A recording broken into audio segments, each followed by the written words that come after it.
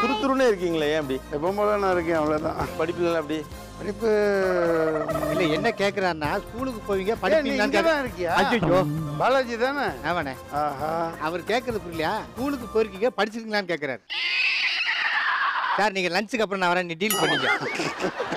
Ramraj banians வழங்கும் back to school நாளை மதியம் இரண்டு மணிக்கு உங்கள் விஜயில்.